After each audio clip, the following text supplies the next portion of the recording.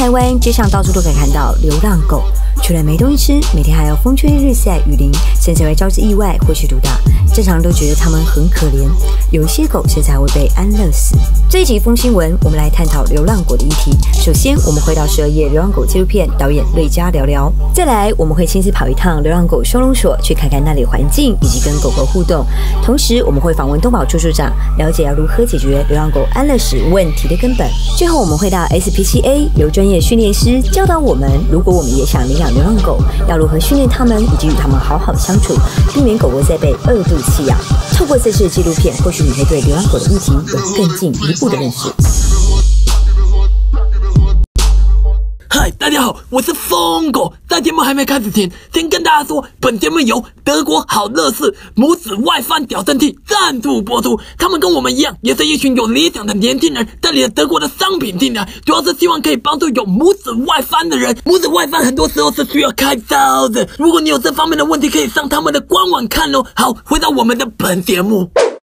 如果你没看过《十二夜》，《十二夜》是一只关于流浪狗进入收容所后十二天就会被安乐死的纪录片。我们来到这部片导演的家，在这部片里有很多流浪狗的故事，其中两只是中分与跳跳。导演拍完把他们都领养回来，我们来看看他们过得如何。Hello，Hello，我们来到那个导演的家，对，然后呢，我们来看看一下他的狗狗，已经在暴动了啦。暴动，这只是中分，跳跳是比较躁动的一个。好来，为什么你会想要就是收容，就是中分跟条条？其实你就是这个动作，然后领养才能改变他们的命运。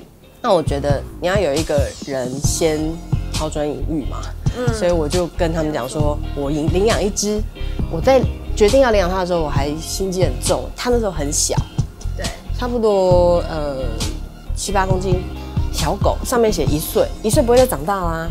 那我就觉得很好啊，那我养在工作室也没什么问题嘛。结果送去兽医院说才三个月，然后就长超大，果然它现在已经二十公斤，二十几公斤。它来我家的时候，我去看看它睡得好不好，摸摸它，它会反手过来做事要咬我的，因为它很没有安全感。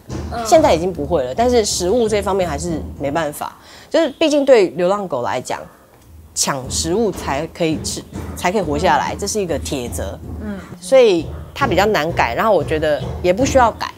他来我家里面，我只要知道这个规则，然后但是我也让他知道我的规则，我们一起好好生活就可以了。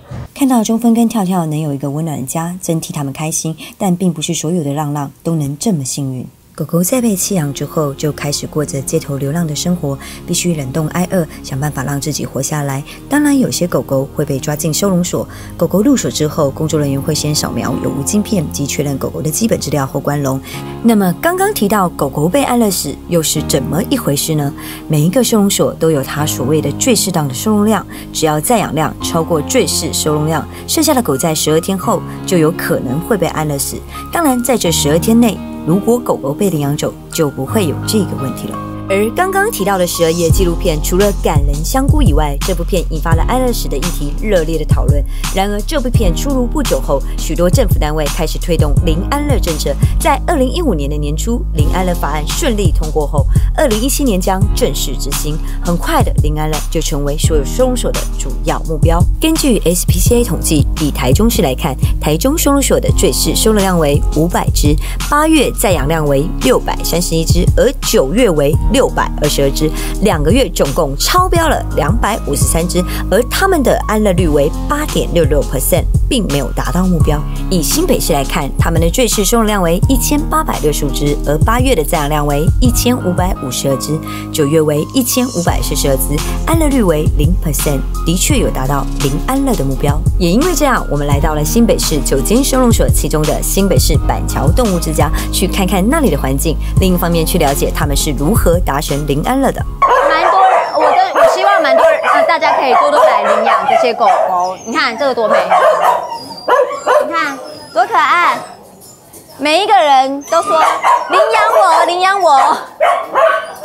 看这个很 Q。因为收容所的能力有限，通常这些狗狗如果要洗澡、散步以及所内的环境整洁，大多是由志工来协助。既然来了，我们一起来参与这个有意义的志工活动吧。人家帮你洗香香哦。你看。让它全部打湿。按摩嘞，这个很舒服呢，不要怕怕。等一下，聪聪哦，好乖，不要怕，不要怕。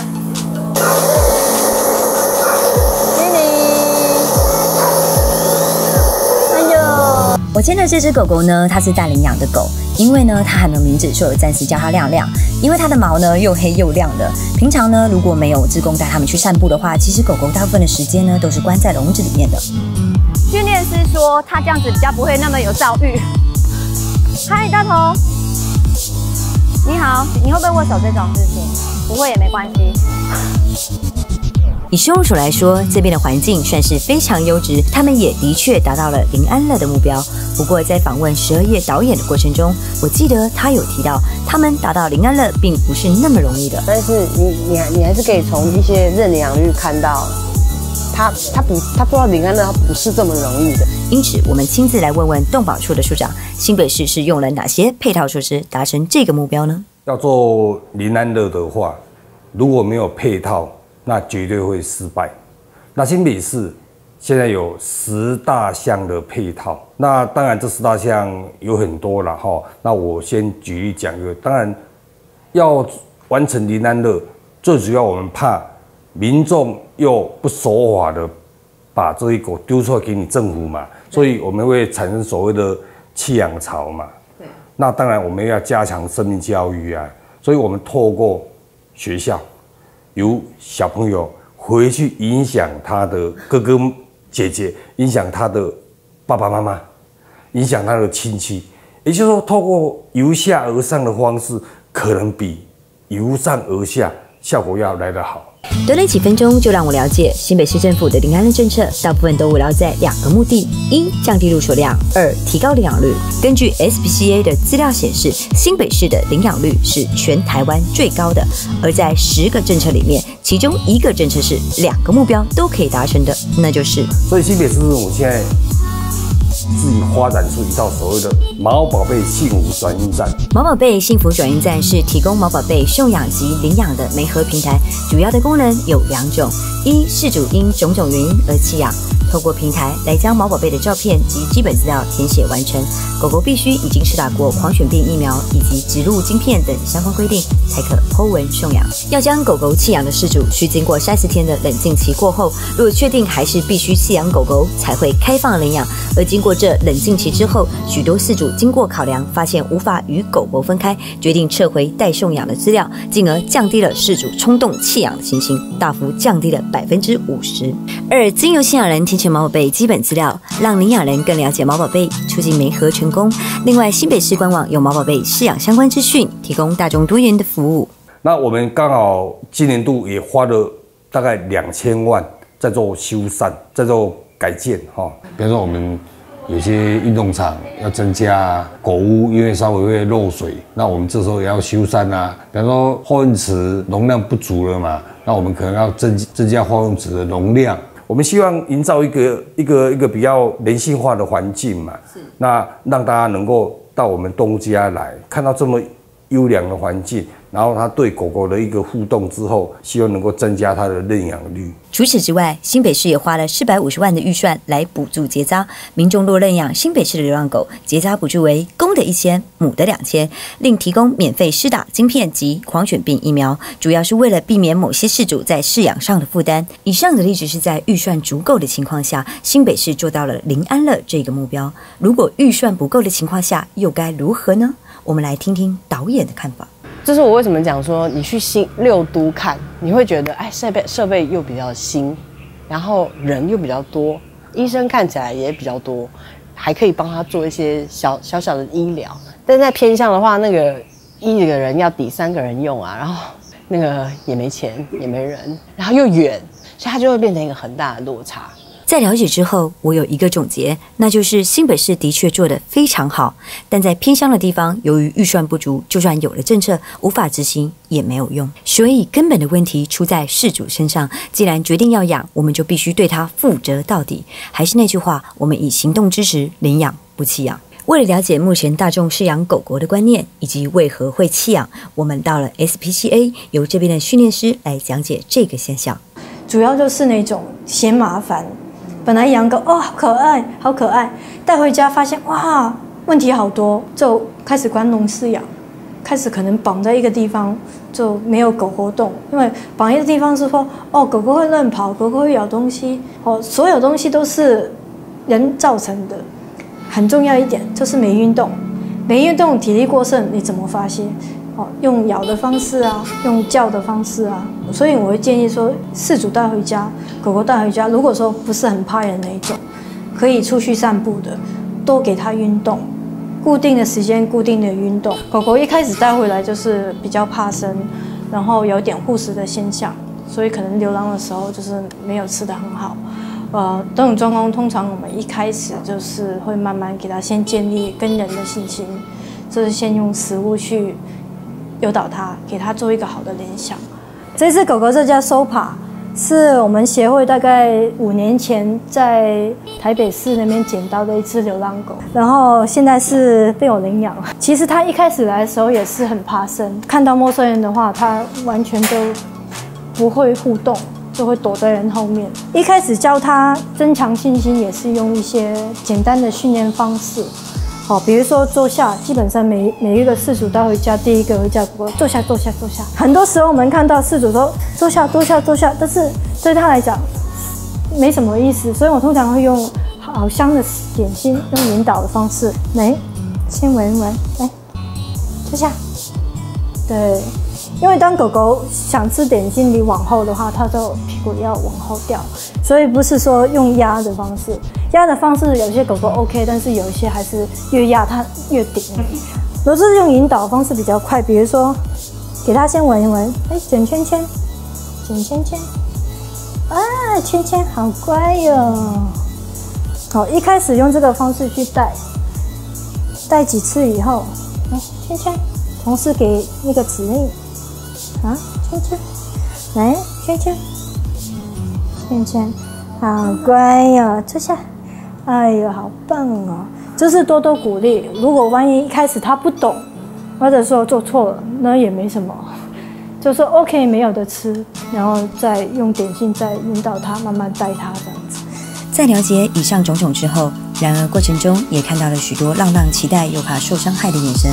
我明白，无论是政府机构或是民间团体，努力来推动所有的方案，但最根本的问题还是回到人的本身。所以，生命教育的提升相对的重要。我们期许借由这次的记录，能化成实际的行动，一起来支持领养不弃养，为浪浪找一个永远的家。我是殷小桃，谢谢收看《风新闻》。大家好，我是詹大卫，我是殷小桃，我是殷姐姐。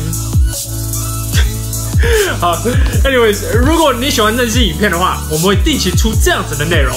不管你是用 Facebook 或是 YouTube 看，如果你是用 Facebook 看的话，请你抢先看；如果你是用 YouTube 看的话，赶快订阅，赶快订阅。好，来，我给你三十秒订阅，你等我一下。